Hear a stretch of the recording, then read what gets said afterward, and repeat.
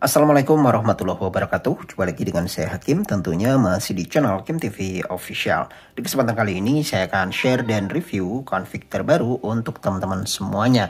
Dan kali ini adalah config untuk Kikem Nikita 20 Yaitu config New Supermantul by Kim TV Official. Bagaimanakah review lengkapnya? Yuk langsung saja simak videonya sampai selesai namun sebelum kita lanjutkan ke videonya, jangan lupa untuk terus dukung channel ini dengan cara like, share, komen, dan juga subscribe. Serta aktifkan notifikasi loncengnya agar kalian tidak ketinggalan video-video terbaru. Oke teman-teman, untuk selanjutnya langsung saja kita menuju ke videonya. Untuk langkah yang pertama tentunya kalian harus download dan install terlebih dahulu APK-nya yaitu Gcam Nikita 20 ya. Silahkan di download salah satu saja Oke, kalau sudah di-download langsung saja di-install. Untuk installnya seperti biasa, seperti menginstal aplikasi pada umumnya. Oke, sampai di sini untuk proses instalasinya sudah selesai. Selanjutnya, sebelum kita lakukan restore config, terlebih dahulu kita buat dulu folder config-nya. Dengan cara masuk ke menu setting. Selanjutnya ke bawah config ya, konfigurasi lalu kita simpan kemudian simpan ini bertujuan untuk membuat folder Gcam config 7 yang nantinya kita akan copy confignya ke folder tersebut. Selanjutnya silahkan di download confignya, linknya semuanya tersedia di deskripsi. Dan seperti biasa nanti untuk confignya dalam format zip. Dan kali ini untuk zipnya tanpa password ya teman-teman. Jadi langsung saja di extract. Langsung kita extract di sini. Setelah di ekstrak maka akan terdapat sebuah folder ya. foldernya new supermantul Nikita 20 kita buka saja. Maka di dalamnya akan terdapat 5 config. Di sini tersedia versi AUX dan no AUX. Untuk yang no AUX ini hanya kamera utama saja. Di sini tersedia tiga format viewfinder ada JPG, UV dan auto. Serta saya sediakan pula untuk config AUX ini untuk yang ada lensa ultrawide-nya ya.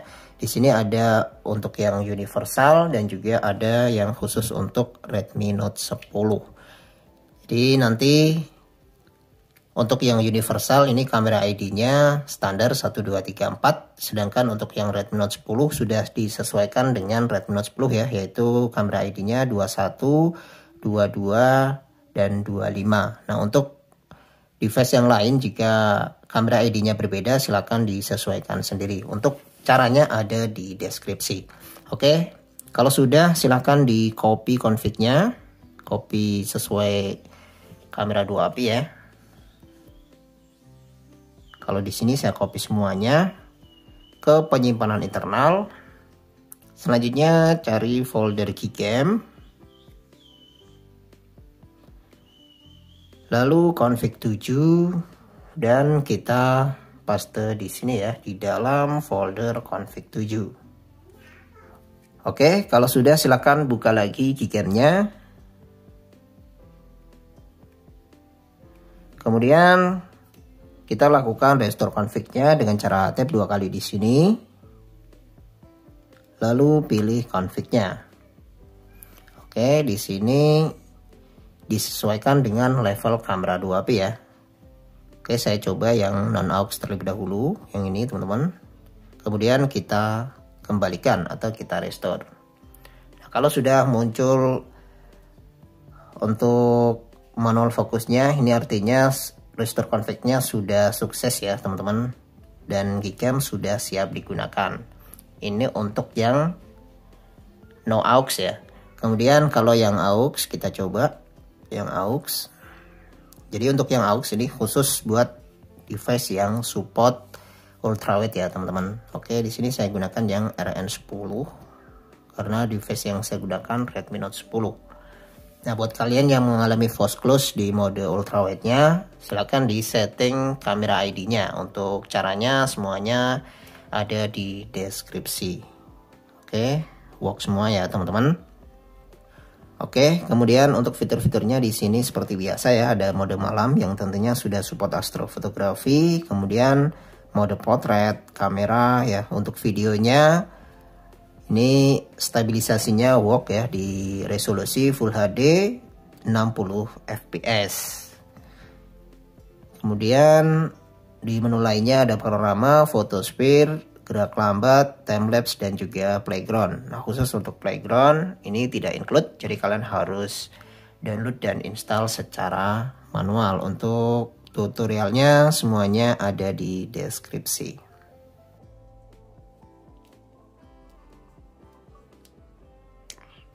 Oke, dan untuk lebih jelasnya langsung saja kita tes di outdoor. Oke untuk yang pertama saya akan tes mode kameranya terlebih dahulu. Kali ini percobaan di sore hari ya menjelang maghrib.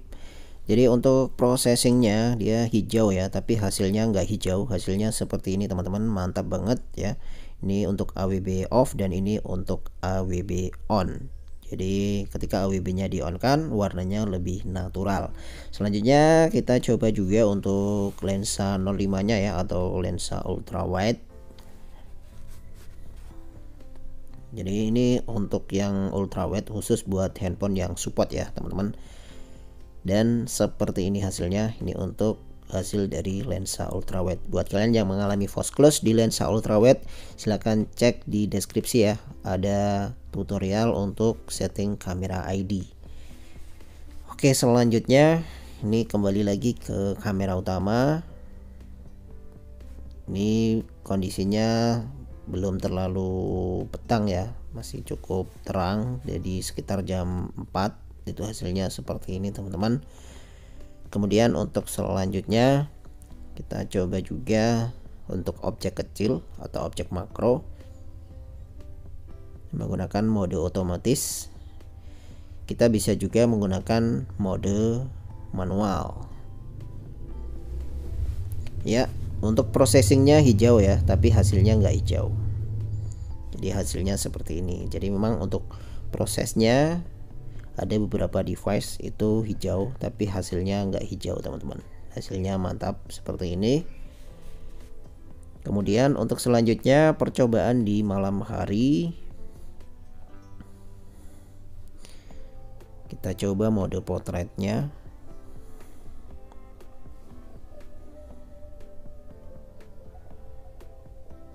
Untuk menghasilkan foto bokeh ya. Ya seperti ini hasilnya teman-teman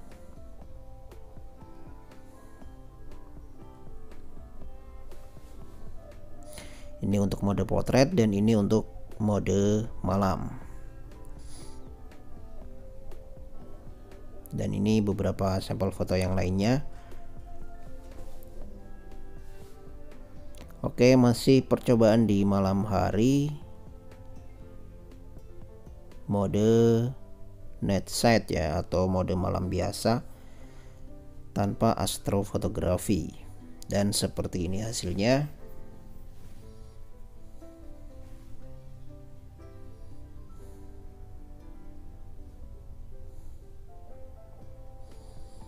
Oke, ini beberapa sampel fotonya teman-teman. Di berbagai objek dan berbagai kondisi.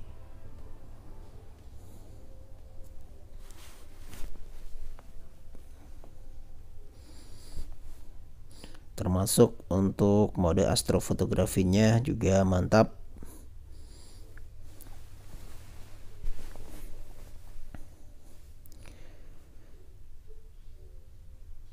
Oke, saya kira cukup sekian video kali ini. Semoga bermanfaat. Jangan lupa tinggalkan komentar, like jika suka dengan video ini.